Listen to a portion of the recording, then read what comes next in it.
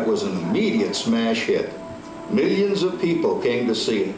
And since then, the Carousel of Progress has had more performances than any other stage show in the history of American theater. You know, Walt loved the idea of progress, and he loved the American family. And he himself was probably as American as anyone could possibly be.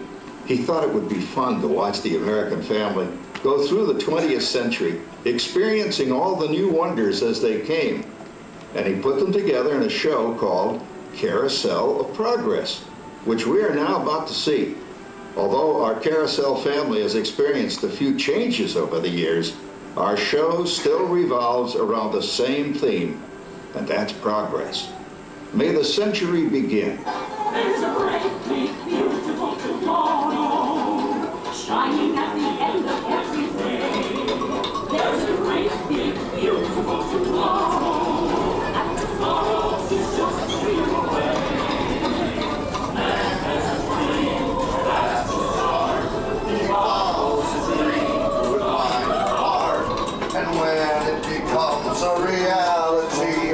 It's a dream come true for you and me. So there's a great big beautiful tomorrow shining at the end of every day. There's a great big beautiful tomorrow, just a dream away.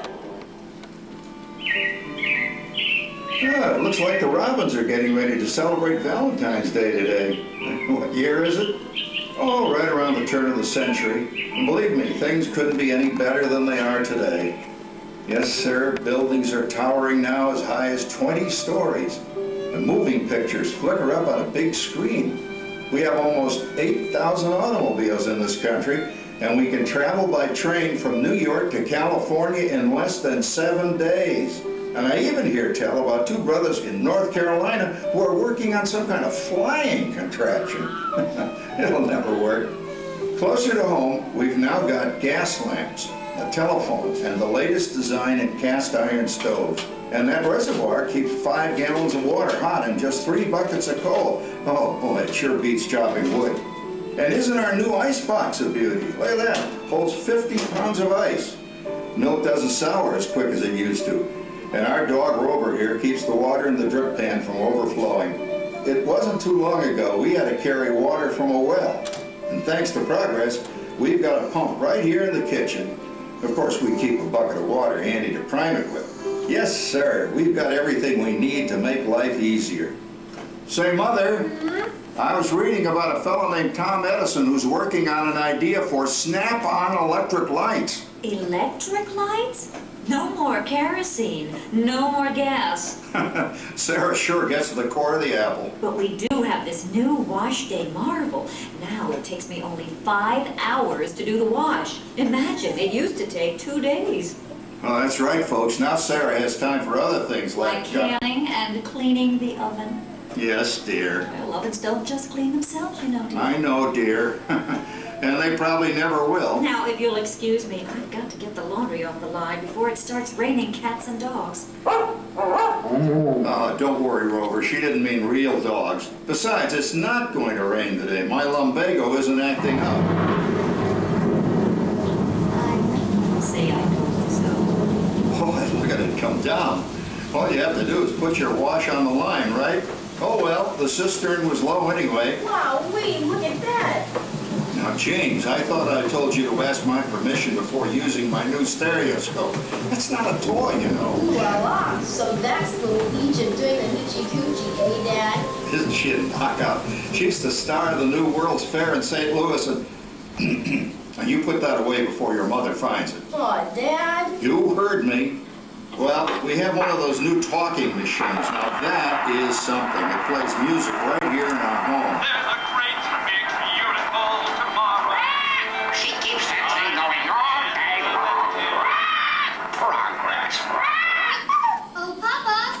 Yes, Patricia? Papa, all these people. I'm, I'm indecent. Don't worry, Patricia. They're friends. That's our teenage daughter. She's getting ready to go to a Valentine's dance across town on one of those new horseless trolleys. I think it's very romantic you're taking Mother out for Valentine's dinner this evening. Well, you know what kind of sport I am. I You be home by 9 o'clock, daughter. You hear me? Yes, Papa. Oh, well, with all this talking, I've worked up quite a thirst. I think I'll take one of those newfangled trolleys down to the drugstore soda fountain and meet the boys for a cold sarsaparilla. Oh, uh, I'm sorry, I forgot. We're drinking root beer now. Same kind of thing, different name. Well, that's progress for you. And uh, speaking of progress, There's a great big beautiful tomorrow shining at the end of every day. There's a great big beautiful tomorrow, and tomorrow is just a dream away. Man has a dream, and that's the start. He follows his dream with mind and heart, and when it becomes a reality, it's a dream come true for you and me. So there's a great big beautiful tomorrow shining at the end of every day. There's a great big beautiful tomorrow just a dream away. Phew, boy, hottest 4th of July we've had in years. We've come a long way, though, since the turn of the century, over 20 some odd years ago. You know that pilot fella, Charles Lindbergh? He's about to fly a single wing airplane all the way across the Atlantic. He's never going to make it. And sports stadiums are springing up all over. And boy, nobody hits that old horse hide like that new fella Babe Ruth. Jazz music is the cat's meow. And there's been ads in the paper for months for a movie starring Al Jolson. And he's going to talk and sing. Boy, I've got to see that. There Schwartz in his Hupmobile. He sure loves that horn. You know, in my new Essex, I've got an electric starter. Now I don't have to crank. We can travel from New York to Los Angeles by train in only three days. And we've got a house full of new electrical servants. Mr. Edison sure added life to our home.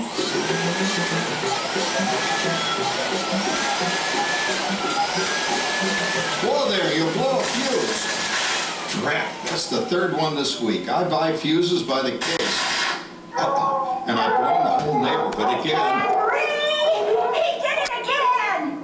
Go over and give that neighbor of ours what for. Easy, Rover. Jimmy, hurry up with that fuse. Shucks! Every time he has company, he blows a fuse. And guess who always has to change it? I heard that, young man. I heard that. Oh, well, that's more like it. John, yours is the last costume I've got to finish before the parade starts. Sarah's Ladies Club is responsible for our town's 4th of July celebration tonight. She's got us all roped into performing in their program. And I've I- decided we're going as George and Martha Washington, dear. Oh, the father of our country. That's a role that really fits me. You know, I'm I... so glad we installed an electric light fixture here on the porch because it's just too darn hot to be sewing inside. Yes, Sarah. You know, next year I'd like to go as Benedict Arnold. Wait until you see what I've got planned for the fireworks show tonight. Rover, don't interrupt while Sarah's interrupting. And guess who volunteered to choose the music for the program? I did, Pop. Listen to this.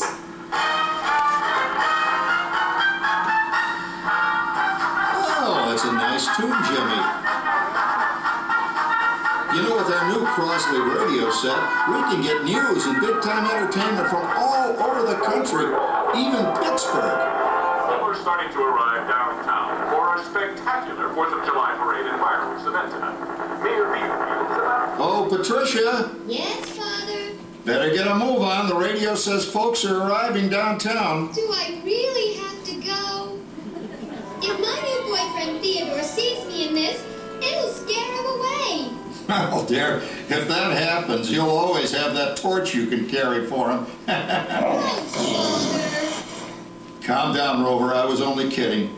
By the way, we have indoor plumbing now. Oh boy, that's really great on cold nights, especially for our perennial house guest, old Uncle Orville. Uncle Orville's taken over the coolest spot in the house, of course, and he's rigged up a real clever contraption. He calls it air cooling. Too bad he's not reading the help wanted ads. No privacy at all around this place. Sorry, Orville. You know, considering all the... Oh, coming, Martha, as I was saying, Considering all the conveniences we now have, I'll say that we're really on easy street these days. It just can't get any better. Just goes to show that There's a great, big, beautiful tomorrow shining at the end of every day. Great, big, beautiful tomorrow, and tomorrow's just a dream away. Man has a dream, and that's the start. He follows his dream with mind and heart. And when it becomes a reality, it's a dream come true for you and me. So there's a great, big, beautiful tomorrow shining at the end of every day. There's a great, big, beautiful tomorrow, just a dream away. Well, it's another Halloween here in the fabulous 40s. Everything is better than ever now, and we've got some amazing new wonders around the house to prove it. For instance, our refrigerator holds more food and ice cubes. And thanks to our automatic dishwasher, oh, I don't have to dry the dishes anymore after supper. Gives Rover and me more time to enjoy our evening stroll together. Later, boy. Oh, and here's something else that's new. I just heard a new term today on the radio. Fella says we've got something now called the rat race. Did you ever hear that one? It sure describes my life. I'm involved in something now called commuting.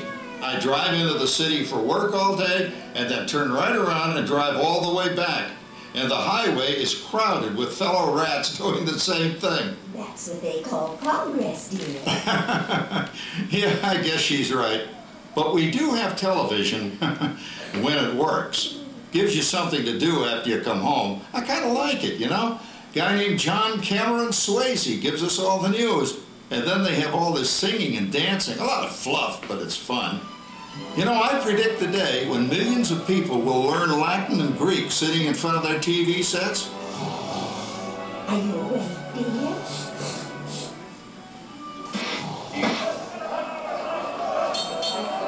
Get him a you big love.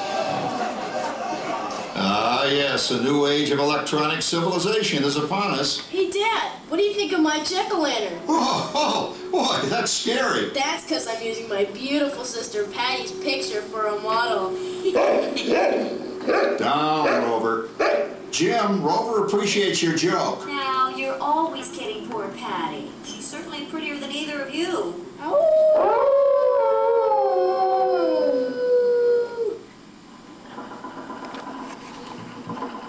You hear that? My daughter Patty is using that old exercise machine she rescued from the attic. It was all the rage in the 20s. Grandma, of course, had to have one. Didn't work then, doesn't work now. Consistent at least. Makes a lot of noise and blows fuses. As I was saying, Dad, I think college is really swell. You should give it a try. Oh, Patty, are you the Halloween party tonight? Oh, yes. And I'm hoping to lose a few more inches by then since I'm going with that dreamboat, Wilfred. Wilfred? What a slug. He's coming as the headless horseman. it fits.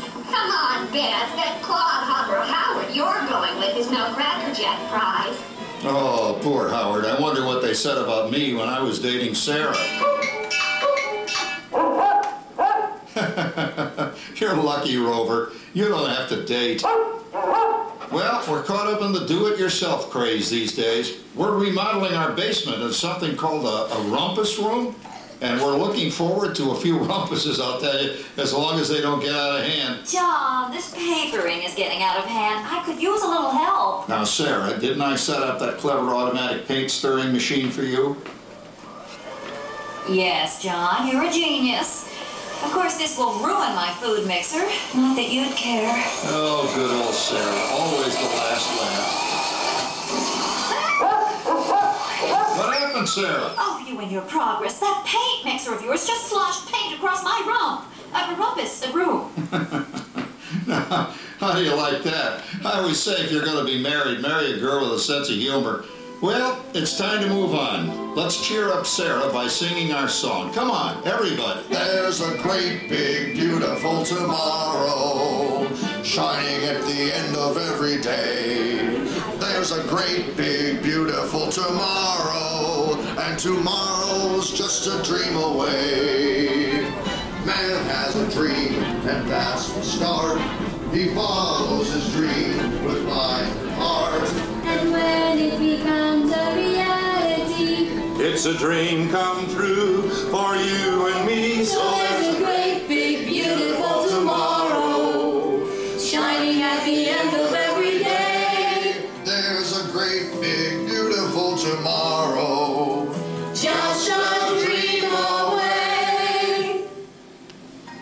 Isn't it a pleasant holiday? Oh, turkey's in the oven, it's peaceful and quiet. Yes! 300 points, my best score yet. Well, it was peaceful until Santa brought that new virtual reality space pilot game. Your turn, Grandma. Let's switch the image over to the TV so the resident flying ace can show you how it works. Now, it's a little tricky. Just use your game glove to fly behind the other guy and blast him with your laser blaster. Laser blaster? Well, I'll give it a try. Take a look around, Grandma. You're in the ship. Feels like I'm really there. Okay, get ready. You're about to blast off. Here goes nothing. Oh, All right, here it comes. Oh, you missed him. Hey, everybody, I'm done programming our new voice activation system. Now all our household items will do anything we tell them to do. Great. Tell the refrigerator to bring me a root beer. Well, it can't quite do that. But I'll show you something it can do. Tree lights 30% brighter. Oh, that's no big deal. Anybody can do that Boy, voice activated stuff. Watch it.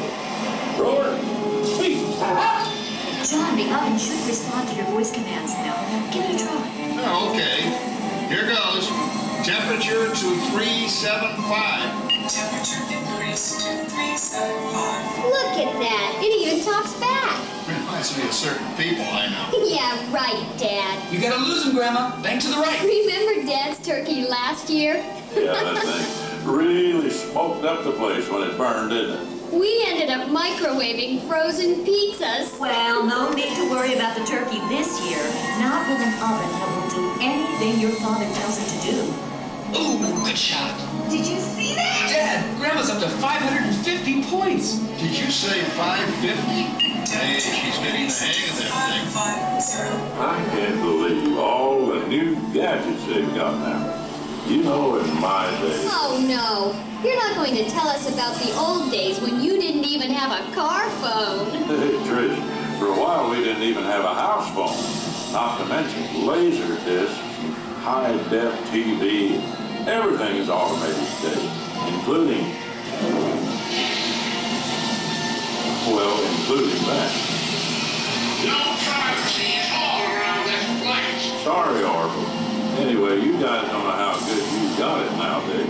You know, my grandpa told me the very same thing when I was a kid. Take that, you nincompoop! Hey, check it out, Dad. Grandma's up to 975 points. Wow, 975. John, what's wrong with the oven? Uh, uh, Anyone for pizza? Oh, another Christmas turkey ruined. Man, what a game! I really smoked those guys. Looks like I'm resident flying ace now. Oh, best two out of three, Grandma. Later, kid. Boy, that was fun. What will they think of next? Who knows? We've got a whole new century waiting for us out there. Yeah, and maybe sometime in the new century, your father will learn how to talk to our oven. well, maybe by then ovens will read our minds. But hey, as long as we're all here and happy and together for the holidays, who cares if I burned our Christmas turkey? I do. I'm starving. Don't worry, Dad. Someday everything's gonna be so automated you won't ever have to cook another Christmas turkey again. There's a